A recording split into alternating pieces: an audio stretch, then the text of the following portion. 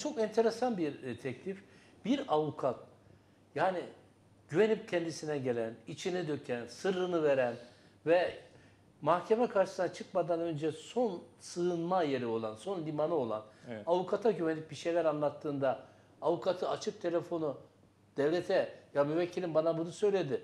Aslında suçsuzum diyor ama bu adam suçlu ihbar mı edecek?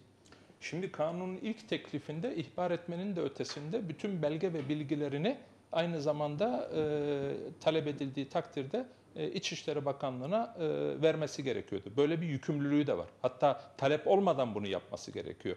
Şimdi zannedersem bir düzenleme herhalde genel kurulda tartışılıyordu bugün.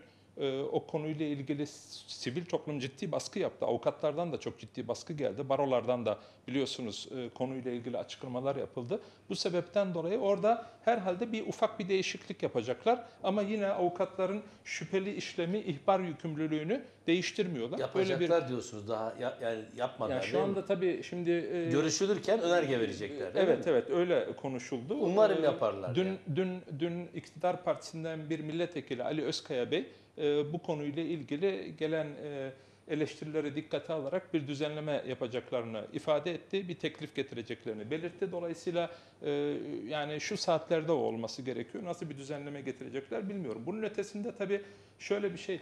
Yani derneklerin internet üzerinden yardım toplaması e, İçişleri Bakanlığı'nın iznine tabi. Yani İçişleri Bakanlığı'nın derken valiliklerin iznine tabi. Bu e, birçok derneğin yardım toplamasının önüne engel koymak için yapılan bir girişim. Aynı zamanda yurt dışından e, günümüzde iktidarın baskıları sebebiyle e, yurt dışından fonlara ihtiyaç duyan insan hakları kuruluşları vesaire var. Bunlara artık bildirim yükümlülüğü getiriyorlar. Ya bundan sonra yurt dışından hibe, fon, Türkiye'de herhangi bir derneğe, vakıfa yapıldığı takdirde bu önceden İçişleri Bakanlığı'na bildirilmek zorunda. E, Bununla birlikte de aynı zamanda sivil toplumu sindirmek, korkutmak, e, her şeyi kontrol altına almak istiyorlar. Yani bizim gözlemleyemediğimiz herhangi bir köşe kalmasın diyorlar. E, Bununla yetinmiyorlar. Yine Orada ufak bir düzenleme yapacaklardı. Ee, o konuyla ilgili değişiklik yaptılar mı bilmiyorum.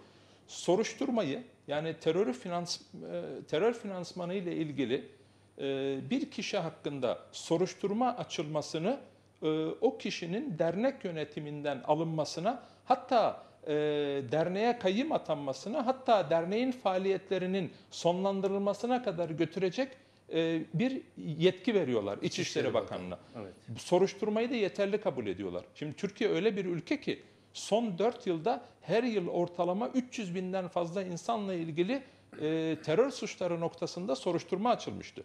Ya bugün iktidarın gerçekten doğrudan uzantısı olarak hareket eden yargının varlığı ortamında iktidar istediği zaman zaten soruşturma açıyor. İşte en son Osman Kavala meselesi bunun çok tipik bir örneği. Normal şartlarda Osman Kavala'nın e, başında bulunduğu Anadolu Kültür Vakfı bu kanun geçtikten sonra önümüzdeki haftalarda e, kapatılırsa veyahut da kayyım atanırsa ben hiç şaşırmam buna. E, Çünkü zaten İçişleri Bakanlığı'nın elinde e, liste varmış. Ben birçok arkadaş bunu söyledi.